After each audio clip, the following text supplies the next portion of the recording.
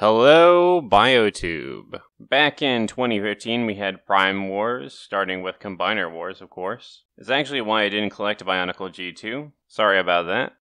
Oh, yeah, and there were these Prime Master guys, which were the Pretenders, well, they had to market them as the Primes because I guess Pretenders wouldn't sell otherwise. Now, thankfully, they've been confident enough to make the Pretenders, and now they're confident enough to make the Primes. Solus Alchemist, Micronus, Alpha Trion, the Fallen, Onyx Prime, and maybe Heatwave is the core robot of Nexus Prime, who knows. The 13 were never really a concept that interested me, but I know a lot of people have been really wanting these in generations. So it's good here to get six or seven of them. After all, we already have Vector Prime in Legacy. We continue our apology for Prime Wars with combiners, namely Devastator and Superion, with a hint of Bruticus. I never really cared for the Combiner characters myself, but it's been a decade since Combiner Wars and those molds haven't aged particularly well. So I'm glad those who want new versions of them are finally getting them. Although new figures in Studio Series include TF1 B127, it's good that they're keeping continuity with the Bumblebee movie. Deluxe Dev Optimus Prime, which some have speculated is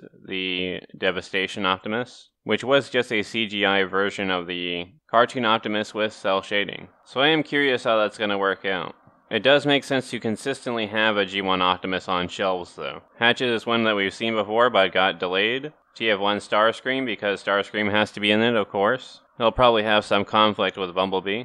Q is finally getting a figure in the main line, so he'll be much, much easier to get. Widowmaker is a continuation of the concept art series. She was the preliminary take on Stinger. Not sure how they're going to pull that one off. We got some more for Cybertron releases with Ironhide and Autobot Soldier. When I started collecting, it was Fall of Cybertron was the line at the time. And what was neat was it was just in the regular Generations line. So kind of like Gamer Edition before Gamer Edition existed. Then we have Sentinel Prime. He's pretty important to that story, so it's good that he is in that movie.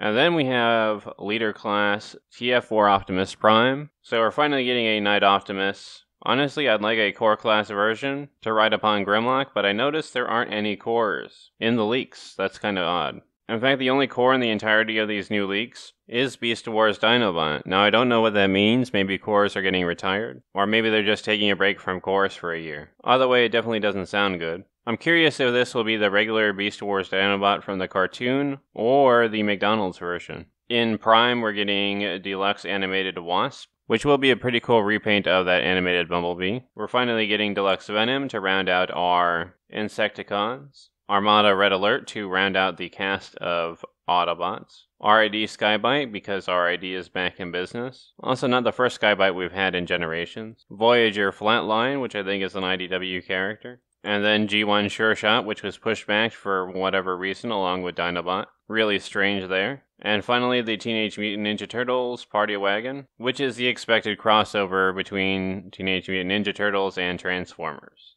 I don't know, will it turn into a big turtle mech? Now on to Redecos, starting with G2 Grimlock, a blue version of Studio Series Grimlock. G2 Breakdown, another part of the Generation 2 Menasor. Armada Wheeljack, we all saw that one coming. Overcharge, what a name, it's a redeco of Blitzwing. Then we have our Mayhem packs with a Voyager of Legend and Deluxe Ruckus. Chop Shop and Deluxe Barrage, Deluxe Knockout and Deluxe Windsweeper. Then we have Double Punch, which is a redeco of Scorponok, or for Cybertron, Skywarp, and Thundercracker, of course, redecos of Starscream. And finally, the long awaited leader, Rise of the Beast, Apelinq, which will be a redeco and retool of Optimus Primal. Then on to our package refreshes, our reissues here. We have GoBots Crasher. Always glad to see some GoBots representation. I don't see why they should be limited to some subline. We have Cosmos and Galaxy Shuttle from that same exclusive series. Which I'm glad because it was very difficult to get Cosmos, and I never saw a Galaxy Shuttle. Ramjet is another one that really needed more distribution. Tarn is a fan favorite from IDW and Cyberverse, so I can see why they would reissue him. Rise of the Beast Optimus, I can see that. Seems to be a real counter exclusive anti scalper push here, and also a good attempt to fix the distribution issues. Which is strange that we have Jazz and Perceptor there. I don't remember Jazz being particularly uncommon, and Perceptor was so plentiful that he went for $5 in clearance, even with an additional free figure. Shockwave and Grimlock, though, those figures really needed to be reissued. And I'm glad many people who wanted them are finally going to get a chance to get them. It was just about impossible to find a Grimlock. I decided to pass on it because I have the Masterpiece version. So for me, this is my list of figures that have been lead that I'm looking forward to. Studio Series 86 Optimus Prime is obvious. Retro Optimus, it really would be good to get an Optimus Prime that does not have any chrome whatsoever. The animation accurate deco would just be an icing on the cake. Legacy United Deluxe Optimus Prime. There's been a lot of speculation over what this Optimus is, and I think it'd be pretty cool to have a Deluxe Optimus Prime. Core Galvatron's another one. I am pretty sure it will one day be redecoed into Shattered Glass Megatron.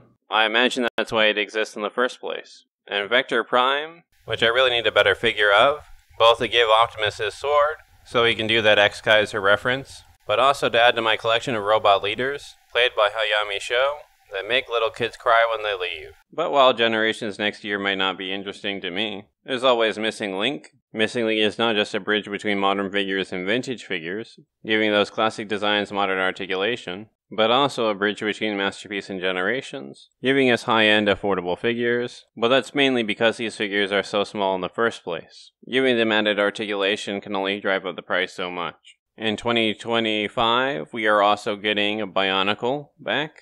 Thank you all for that. And Keith is interested in doing reviews of them. Plenty of stuff to look forward to next year. Imagine Being. Links below.